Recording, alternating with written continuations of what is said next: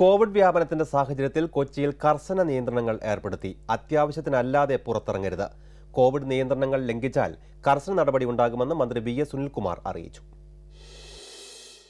രോഗലക്ഷണമുള്ളവർ ഉടനെ വിവരം അറിയിക്കണം. എല്ലായിടത്തും സാമൂഹിക അകലം നിർബന്ധമാണ്. മാസ്ക് ധരിക്കാത്തവർക്കെതിരെയും വ്യാപാര സ്ഥാപനങ്ങളിൽ കൂട്ടം കൂടി നിൽക്കുന്നവർക്കെതിരെയും കർശന നടപടി സ്വീകരിക്കും. ഫയർഫോഴ്സിന്റെ സഹായത്തോടെ എറണാകുളം ബ്രോഡ്വേ മാർക്കറ്റ് അണുവിമുക്തമാക്കുമെന്നും മന്ത്രി വി എസ് സുനിൽകുമാർ പറഞ്ഞു.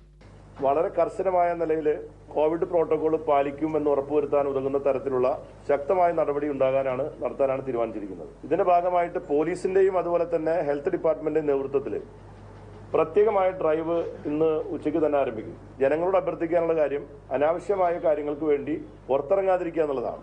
അത്യാവശ്യമായ കാര്യങ്ങൾക്ക് വേണ്ടി മാത്രം ഇറങ്ങുന്ന സ്ഥിതി ഉണ്ടാവണം. എറണാകുളം ജില്ലയിൽ പന്ത്രണ്ട് പേർക്ക് കൂടി കോവിഡ് സ്ഥിരീകരിച്ചിരുന്നു.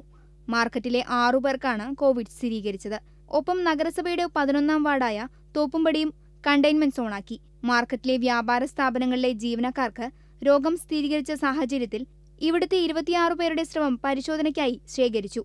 ജില്ലയിലെ ആശുപത്രികളിൽ കോവിഡ് സ്ഥിരീകരിച്ച നൂറ്റി തൊണ്ണൂറ് പേരാണ് ചികിത്സയിൽ കഴിയുന്നത്. ഇതിൽ ഒരാളുടെ നില ഗുരുതരമാണ്.